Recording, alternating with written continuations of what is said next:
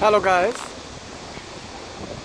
এটি দক্ষিণ কোরিয়ার রাজধানী শিউল শিউল সিটির মাঝে যে নদীটা দেখতে পাচ্ছেন এই নদীর নাম হানগাং। এই হানগাং নদীর উপর দিয়ে রয়ে গেছে বৃষ্টি ব্রিজ। তার মধ্যে একটি এটি একটি। এই ব্রিজের উপর দিয়ে সাধারণত বাস, ট্রাক, কার যাতায়াত হয়।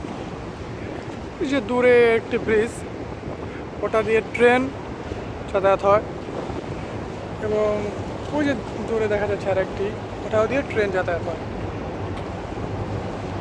এবং হানগাং নদীর উপরে যে একটা মোট বিশটি ব্রিজ আছে। এইমাত্র আমরা দেখতে পাচ্ছি একটি দুটি